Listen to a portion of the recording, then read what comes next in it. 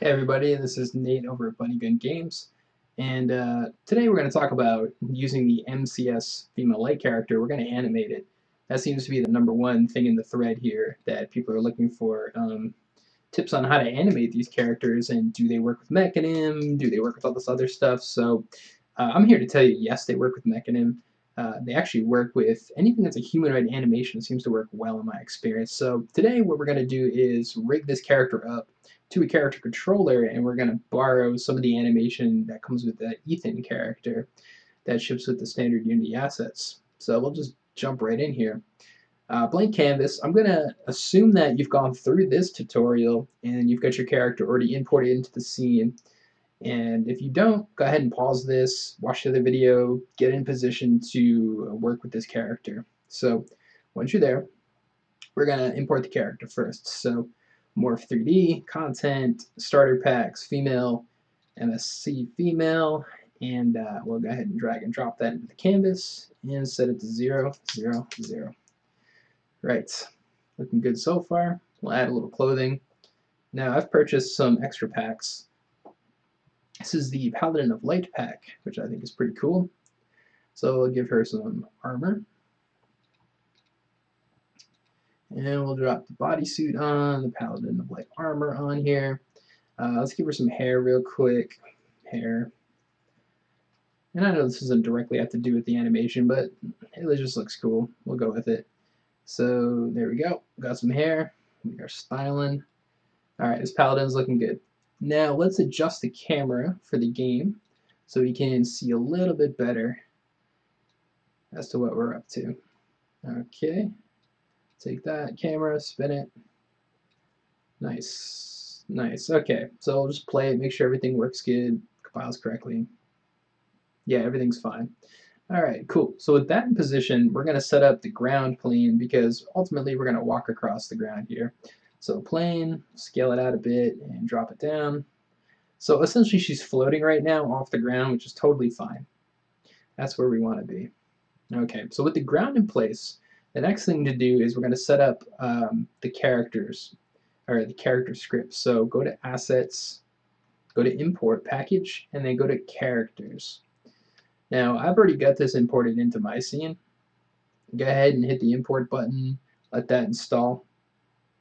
When that's finished, you're going to see in your Projects window the Standard Assets folder. Now, under Standard Assets, you're looking for Characters, and then you're looking for Third Person Character, and then under there, you're looking for prefabs. You'll see the third person controller. Go ahead and drag and drop that to the canvas for a moment just to have a look at what we have. Here's Ethan. Now maybe you're familiar with Ethan. He's the standard Unity 5 character now. And he comes pre-rigged with a control. I'm using the keyboard right now to control him. Uh, he's got a jump, and he's got some really nice animations just already off the bat. He turns pretty smooth. He's not bad. It's a good place to start. So we're going to make the Paladin essentially inherit all of Ethan's animations and controls. I know, right? It looks so static, but in any minute, it's going to become alive. So let's pause that. Now, in the hierarchy, go ahead and select Ethan, which is third-person character controller. And what we're going to do is we're going to copy the animator, rigid body, capsule collider, third-person user controller, and third-person character scripts onto our MCS female character who I'm going to rename Paladin so I can say Paladin. It's much easier. So let's start with the animator. Now the thing to note here with the animator is that your character by default, the Paladin, already has an animator on it. So as opposed to copying and pasting, we're going to go to the animator, we're going to click control and then click this tiny little button next to the controller and type in third, oops, third person there it is, third person animated controller. Go ahead and click that. Now that's the controller Ethan currently has on him. So we're going to set that there. We're going to keep the avatar set to MCS female avatar, which is the default. We're not going to touch anything else there. So now we're going to go back to Ethan, and we're going to copy the rigid body.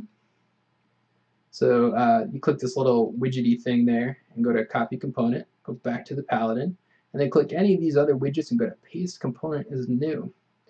And we're going to go back and do this for the capsule collider.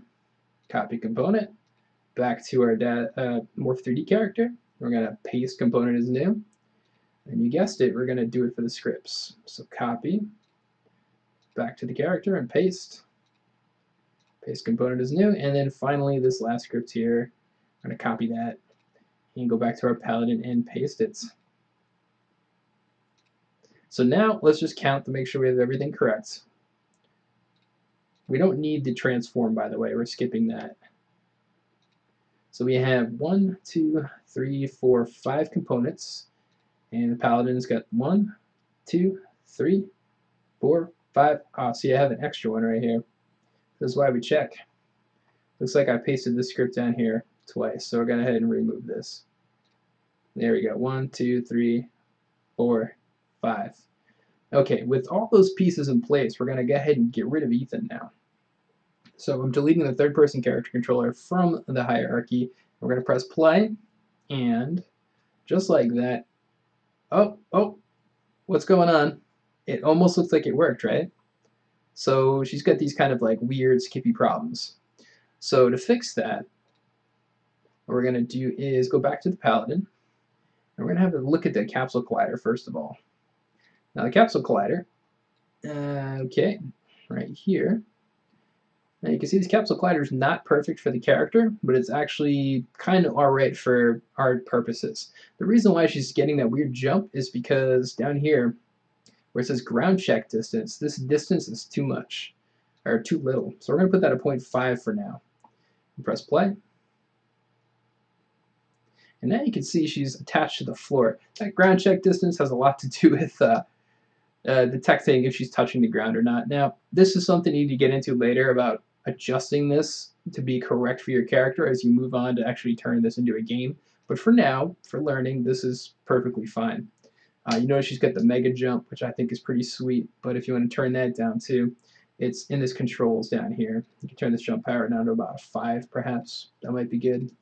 Yeah, that's a little bit more, you know, it's not perfect. You can play with those numbers and dial it in, but you see our character is really moving well now. It moves just like Ethan, and it's a totally Morph 3D character. So I think this might put into perspective that how flexible these characters really are.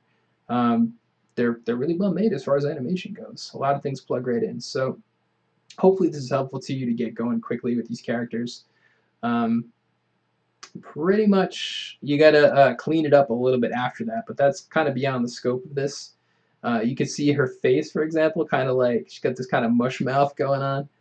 Uh, and that has to do with because the way Ethan's head animations are rigged up versus the way these um, these let me show you. MCS characters are rigged are slightly different in the avatar so that's for another another day essentially. But this will get you going hopefully this is helpful to you and kind of paints a picture that you can do a lot with these characters. Uh, and if you follow this video, you can do a lot pretty quick. Alright guys, hope that's helpful to you. Thanks.